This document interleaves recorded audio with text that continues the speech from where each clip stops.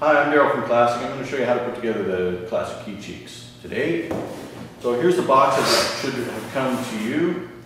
Obviously the lid's off already, but this is the top piece, so we're just going to put that aside for now.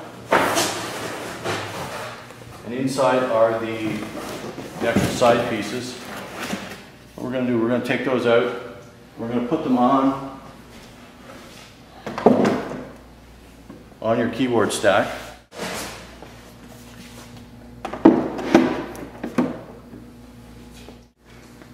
Then we have the cross piece that's going to join the back here. So I'll just go around back and be back in a second. So what we're going to do now is we're going to install the back.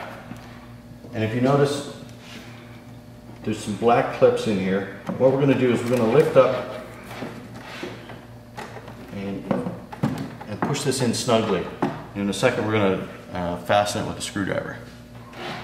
We're going to do the same for the other side. We're just going to take a straight screwdriver and give it a good half turn. You'll know when it's uh, secure. They're just IKEA type um, fasteners inside. We'll do the same. Now the top of the key cheeks uh, are just held in there by dowel and you'll see the four holes on either side. So you just seat that on top. Just press down firmly and you're done. Okay, now when it comes to assembling the music rest, just wanted to show you a couple things.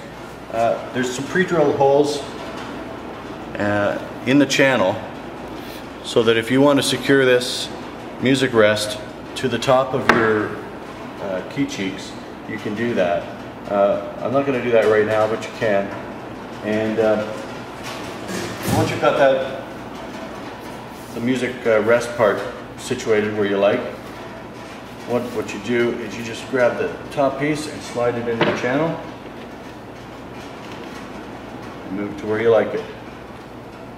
Back and forth.